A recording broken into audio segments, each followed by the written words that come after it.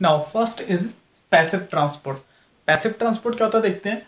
Movement of molecule across membrane require no energy from cell molecules के movement को, ठीक है सेल से, या फिर सेल से आउटसाइड की तरफ़, या फिर आउटसाइड से इनसाइड की तरफ़ सेल के अंदर साइटोप्लाज्म की तरफ़। सेल मेम्ब्रेन से अगर वहाँ पे सेल कोई भी एनर्जी नहीं देगा, ठीक है without energy using energy of cell movement of molecule कहाँ पे मॉलिक्यूल का मूवमेंट हो रहा है अक्रॉस द मेम्ब्रेन ठीक है? मेम्ब्रेन को पार कर रही है, बिना किसी एनर्जी के हेल्प से, ठीक है? उसको हम बोलते हैं पैसिव ट्रांसपोर्ट प्लाज्मा मेम्ब्रेन में, ठीक है? जो मॉलिक्यूल होते हैं, वो क्या हो रहे हैं?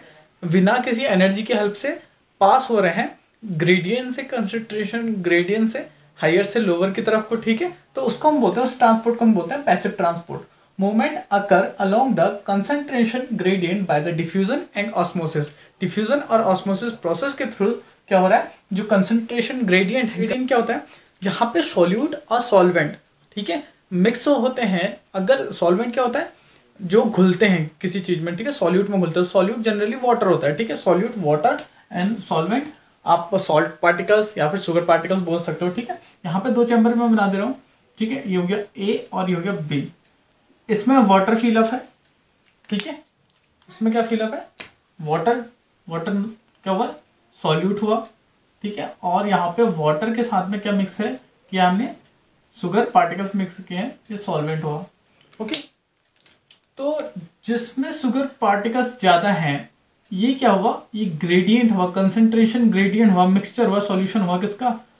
सॉल्वेंट और सॉल्यूट का सुगर पार्टिकल्स और वाटर मॉलिक्यूल का क्या हुआ?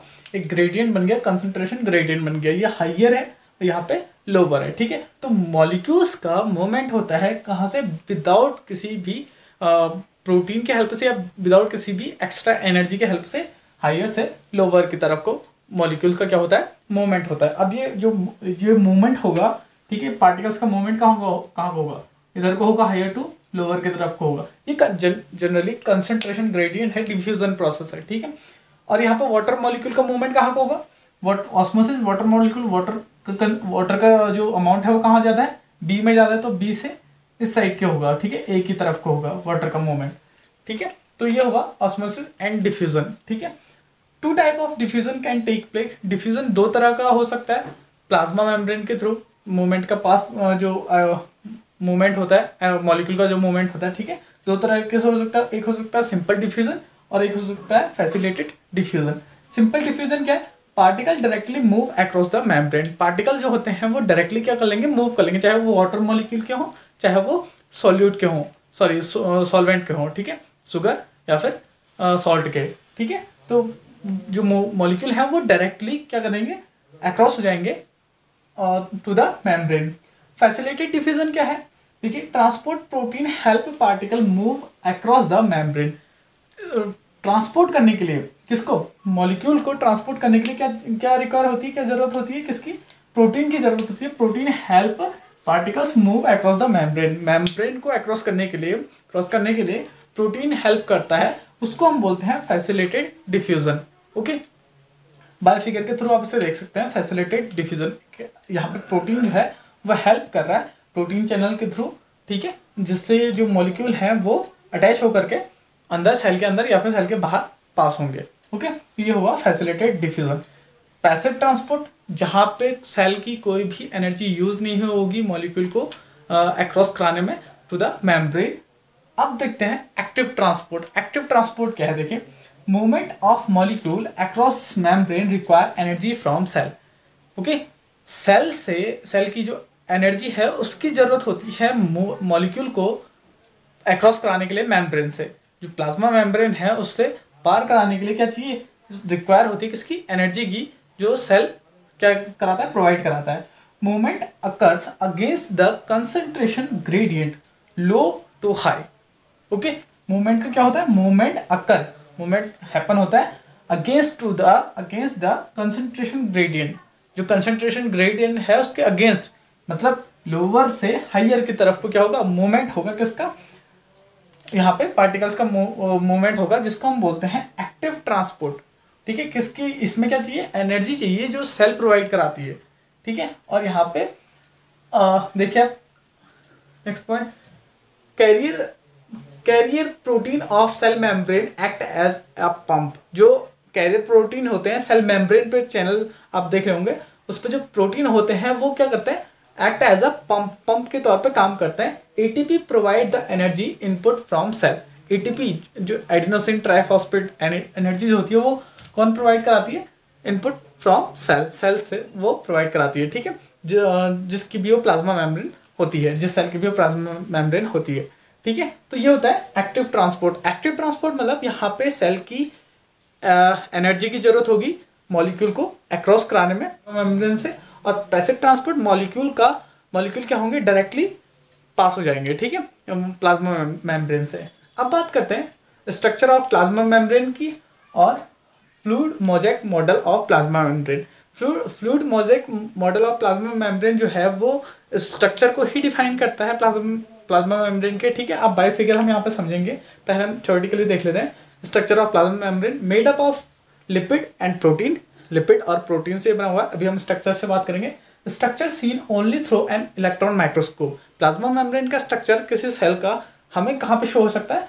किससे शो हो सकता है? सिर्फ़ इलेक्ट्रॉन माइक्रोस्कोप से शो हो सकता है। विजिबली शो हो सकता है। क्लियर हो सकता है। लिपिड बाइलेयर स्ट्रक्चर क्या होते हैं? दो बाइलेयर की लिपिड की लेयर होती है। ठीक है? वैसा स्ट्रक्चर होता है। Fluid mosaic model of plasma membrane इसको देखते हैं। ये किसने postulated by the Singer and Nicolson किसने किसने डिस्क्राइब किया था? सिंग सिंगर और निकोलसन ने डिस्क्राइब किया था structure of plasma membrane is not static जो स्ट्रक्चर होता है प्लाज्मा मेम्ब्रेन का, वो स्टैटिक नहीं होता है, स्थिर नहीं होता है, एक जैसा ही नहीं होता है, ठीक है? वो क्या होता है? लिटिल बिट चेंज होते रहता है। Fluidity of membrane is important for cell growth जो फ्लूडिटी होती है, किसकी? मेम्ब्रेन की। अच्छा इन्होंने जो मॉडल दिया था उन्होंने द फ्लूड मोजैक मॉडल ठीक है? जो मेम्ब्रेन होती है वो फ्लूडी ठीक है? जैसे लिक्विड ही होता है वैसे आ, क्या होता है उसका स्ट्रक्चर होता है प्लाज्मा मेम्ब्रेन का एक हार्ड स्ट्रॉन्ग लेयर नहीं होती है प्लाज्मा मेम्ब्रेन की ठीक है? फ्लूडी लाइक स्ट्रक्चर होता है उसका जिसकी वजह से उसको फ्लूडी फ्लूडी उसमें देखने को मैम मिलता है ठीक है? तो किसके लिए इंपॉर्टेंट होती है ये fluidity for cell growth, cell division, cell की ग्रोथ के लिए, सेल डिवीज़न के लिए, सेल के डिवीज़न होने के लिए, एक से दो बनने के लिए एंड सेक्रेशन के लिए, सेल से जो सेक्रेशन होता है प्रोटीन ठीक है?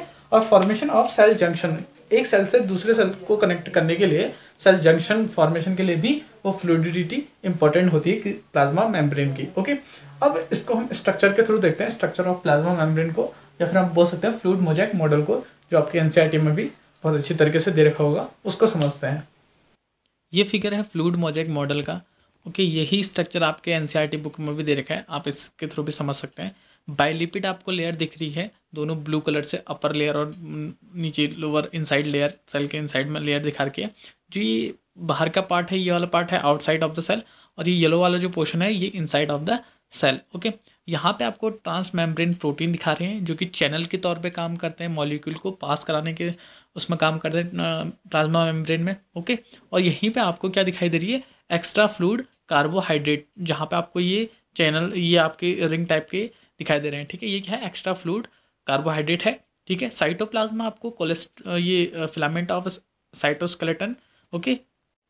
Cytoskeleton, cytoplasm में जो भी ये फिलामेंट्स हैं, ये साइटो, ये फिलामेंट के तौर पे जो पार्ट दिखाई दे रहे हैं, वो साइटोस्केलेटन कहे जाते हैं, ठीक है? और इधर आपको ग्लाइको प्रोटीन दिखा रखा है। ग्लाइको प्रोटीन क्या है? जो मॉलिक्यूल को हेल्प करता है ओके पास कराने में अक्रॉस द मेम्ब्रेन वो है ग्लाइको प्रोटीन ग्लाइकोलिपिड भी आपको दिखा, दिखाई दे रहे होंगे। ठीक है? ये मॉलिक्यूल क्या है? ये सारे के सारे ये जो स्ट्रक्चर है, ये ये सारे के सारे ग्लाइकोप्रोटीन ग्लाइकोलिपिड ये क्या स्ट्रक्चर बनाते हैं प्लाज्मा मेम्ब्रेन का? फ्लूडी स्ट्रक्चर बनाते हैं, जिसकी वजह से जो प्लाज्मा मेम्ब्रेन होती है, वो फ्लूडी फ्लूडी करेक्टरिस्टिक रखती है।